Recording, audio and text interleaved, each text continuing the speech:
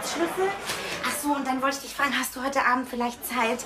Meine Babysitterin hat abgesagt. Die hat nämlich Magen-Darm. Und ich brauche unbedingt jemanden, der sich um den Kleinen kümmert. Lea? Daher- Du weißt schon, dass du mit einem Toast telefonierst.